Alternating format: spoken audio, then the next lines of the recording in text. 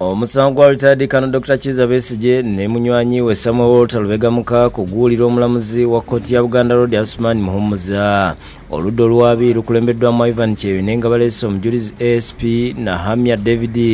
Ng'one yakulemberamu ekikwekweto ky'okukwata bano kubaako byatangaaza ku byaliwo ku lunaku olwo. Kyokka omujulizi atamyetamye ng'ali mu kaguli. Oluvannyuma lwa puliida w'abawaabirwa erias lukwago okumusoya ebibuuzo eby'omugirano era atuuse n'okutegeeza nga ababiri omusango we baguddiza wakati wa lwapaaka ne mukwana akedi wabula ng'empapula okuvunaanibwa bano ziraga bitundu bya shawuli yaako era atuuse n'okugamba kooti titamanyi kika kya mmotoka bano baali batambulira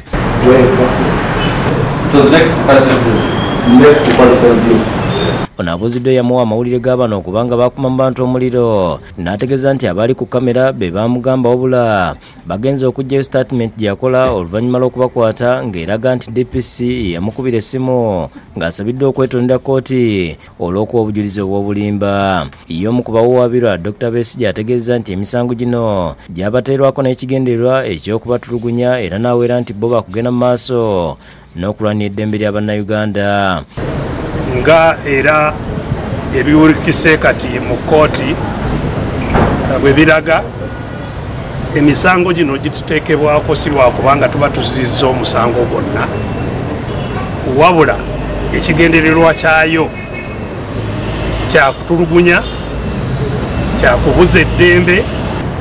Tuli betefutefe mumaaso okugenda n'okwanganga obujulizi bwonna bwe banaleeta naye nga byonna biravaayo kakati byeraze nti bisango bijweteke nga we mubiraba.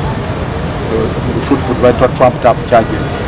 Kuba naye yenyini byazze n'atuuka n'okugamba mu kooti nti yeetonda okulimba kooti tuddamu nga asatu mu lumu era katulinde tulabe ekiddamu nuriat namagembe yakusakidde gule ino